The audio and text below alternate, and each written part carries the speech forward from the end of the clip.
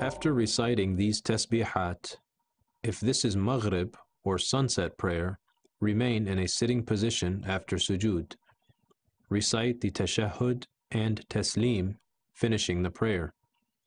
If this is dhuhr, asr, or isha prayer, rise for a fourth rak'ah Recite the tasbihat, perform ruku' and sujood, and finish the prayer as before.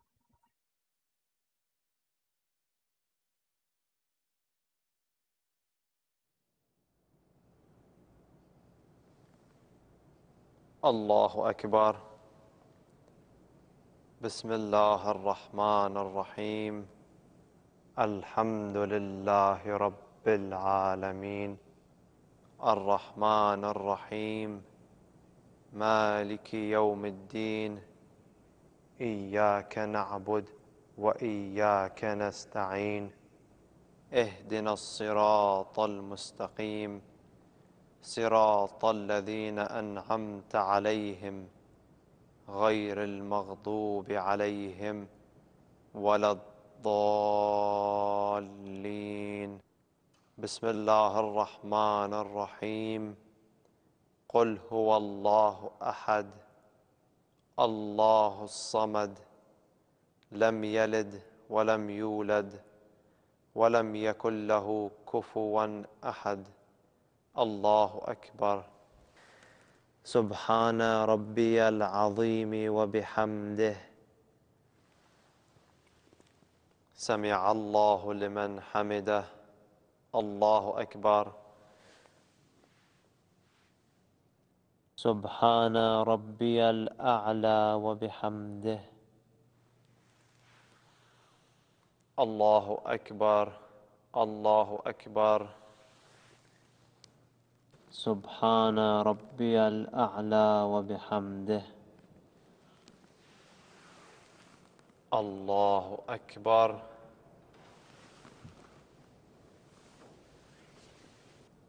بسم الله الرحمن الرحيم. الحمد لله رب العالمين. الرحمن الرحيم. مالك يوم الدين. إياك نعبد وإياك نستعين. اهدنا الصراط المستقيم. صراط الذين أنعمت عليهم. غير المغضوب عليهم ولا الضالين. بسم الله الرحمن الرحيم. قل هو الله أحد. الله لم يلد ذليم ولم يولد ولم يكن له كفوا أحد. الله أكبر. اللهم صل على محمد وآل محمد. الله أكبر. سبحان ربي العظيم وبحمده. سمع الله لمن حمده. الله أكبر. سبحان ربي الأعلى وبحمده. الله أكبر الله أكبر. سبحان ربي الأعلى وبحمده. الله أكبر. الحمد لله. أشهد أن لا إله إلا الله وحده لا شريك له. وأشهد أن محمدا عبده ورسوله. اللهم صل على محمد وآل محمد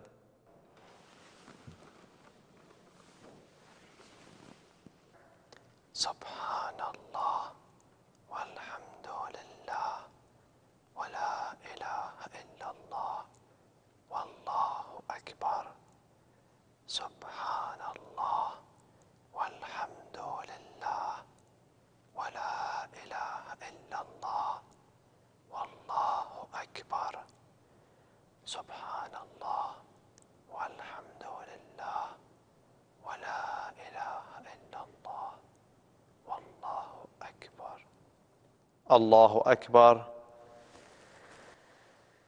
سبحان ربي العظيم وبحمده. سمع الله لمن حمده. الله أكبر. سبحان ربي الأعلى وبحمده. الله أكبر الله أكبر. سبحان ربي الأعلى وبحمده. الله أكبر. الحمد لله. أشهد أن لا إله إلا الله. وحده لا شريك له وأشهد أن محمدا عبده ورسوله. اللهم صل على محمد وآل محمد. السلام عليك أيها النبي ورحمة الله وبركاته. السلام علينا وعلى عباد الله الصالحين. السلام عليكم ورحمة الله وبركاته. الله أكبر. الله أكبر. الله أكبر.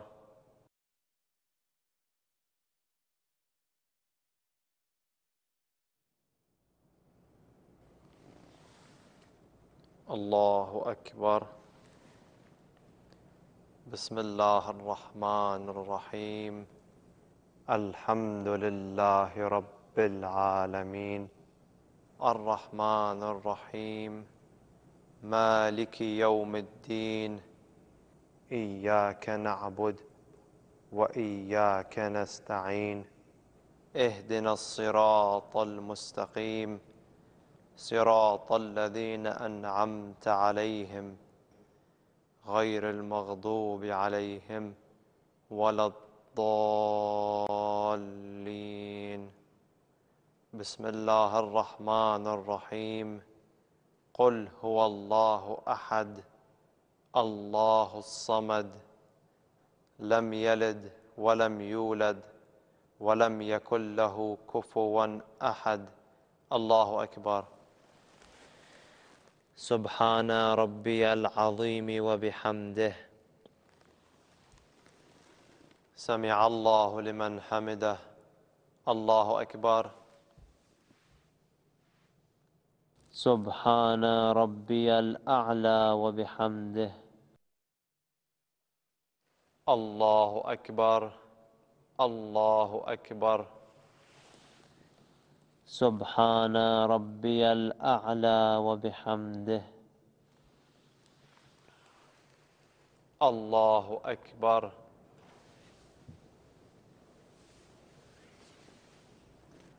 بسم الله الرحمن الرحيم الحمد لله رب العالمين الرحمن الرحيم مالك يوم الدين إياك نعبد وإياك نستعين اهدنا الصراط المستقيم صراط الذين أنعمت عليهم غير المغضوب عليهم ولا الضالين.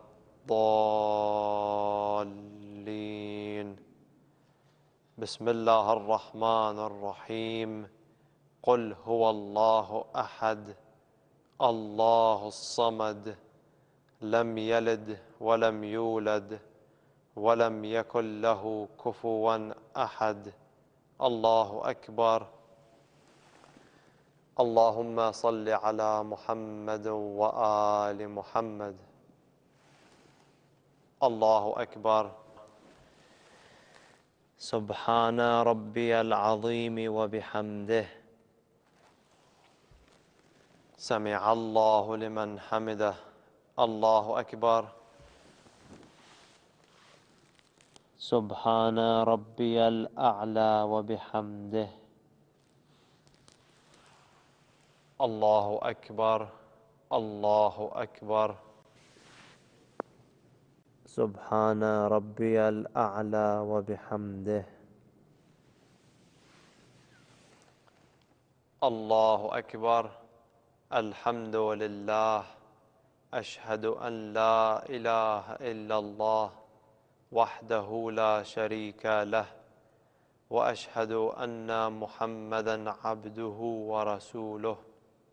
اللهم صل على محمد وآل محمد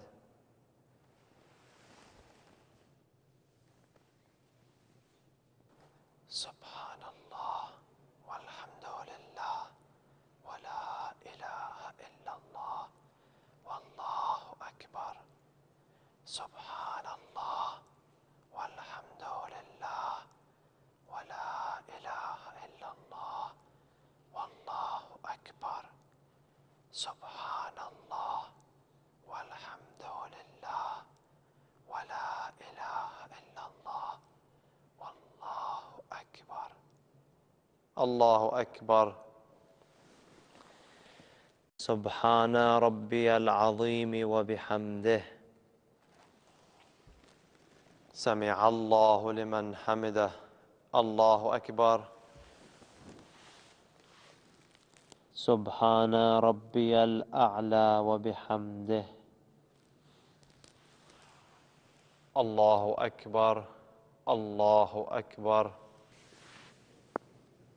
سبحان ربي الأعلى وبحمده.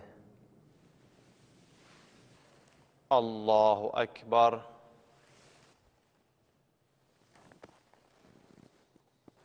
سبحان الله والحمد لله ولا إله إلا الله والله أكبر سبحان الله والحمد لله ولا إله إلا الله والله أكبر سبحان الله والحمد لله ولا إله إلا الله والله أكبر الله أكبر.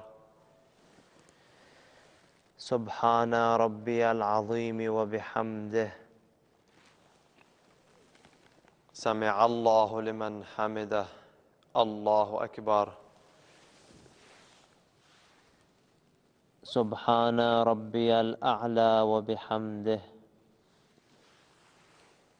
الله أكبر. الله أكبر. سبحان ربي الأعلى وبحمده. الله أكبر. الحمد لله. أشهد أن لا إله إلا الله وحده لا شريك له. وأشهد أن محمدا عبده ورسوله. اللهم صل على محمد وآل محمد. السلام عليك أيها النبي ورحمة الله وبركاته. السلام علينا وعلى عباد الله الصالحين. السلام عليكم ورحمة الله وبركاته. الله أكبر. الله أكبر. الله أكبر. Now to review the five daily prayers. Fajr or morning prayer consists of two rak'at. Dhuhr or midday prayer consists of four rak'at. Asr or afternoon prayer consists of four rak'at. Maghrib or sunset prayer consists of three rak'at. Isha or night prayer consists of four rak'at. Remember the seven points of the body must touch the ground during sujud. Remember when to whisper and when to recite aloud. Remember to be still while reciting. It is important to note that it is permissible to perform Asr immediately after Dhuhr and Isha immediately after Maghrib. As a result, within the course of a day, the mandatory prayers can be performed at three times instead of five. any non-mandatory prayer, uh, meaning any recommended prayer should not be uh, uh, performed congregationally. You have to pray it uh, uh, privately and individually. The reason for that, because this is your time now. This is not for socialization anymore. This is your time. This is where you need to focus more on your relationship with the Lord. There is no need for you to pray it with other people. You still can pray it in the mosque, but not congregationally. This is the time that you take with your Lord. This also helps us to establish a very clear relationship with God that is void from any showing off. Uh, you know, sometimes when we pray in the mosque, there could be, there could be a slight possibility that you're showing off before other people. But when I am at home, when I am in my bedroom, uh, in the middle of darkness, I stand up and I pray to God. Nobody knows about this.